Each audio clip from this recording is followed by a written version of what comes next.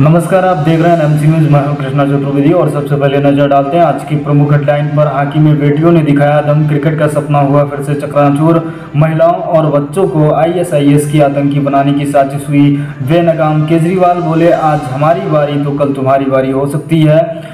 Canada में भारतीय छात्रों के निर्वासन पर रोक लगाई गई। अब खबर विस्तार से। हाकी में बेटियों ने दिखाया दम भारत ने रविवार को चार बार चैंपियन दक्षिण कोरिया को दो माइनस एक से हराकर पहली बार महिला जूनियर एशिया कप का खिताब जीत लिया है।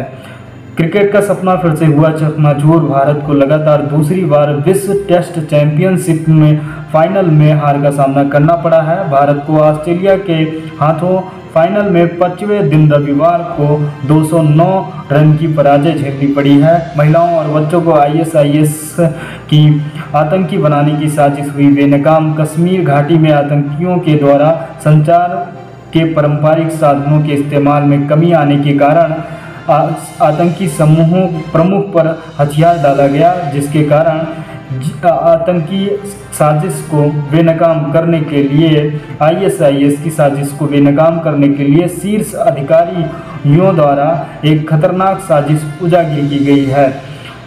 केजरीवाल बोले, आज हमारी बारी तो कल तुम्हारी बारी हो सकती है। दिल्ली के मुख्यमंत्री अरविंद केजरीवाल ने राष्ट्रीय राजधानी में सेवाओं पर नियंत्रण से जुड़े अध्यादेश को लेकर सरकार पर सीधा निशाना साधते हुए कहा है कि सबसे पहले बार किया गया और अन्य राज्यों के लिए भी इसी तरह से अध्यादेश लाएँगे।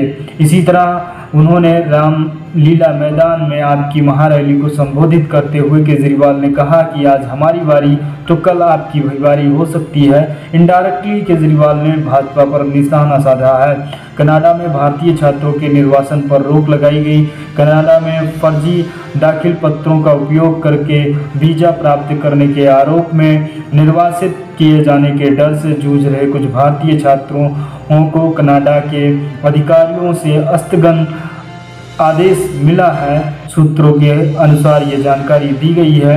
इसी तरह से देश विदेश की खबरों की जानकारी के लिए जुड़े रहिए नाम सिंह के साथ। धन्यवाद।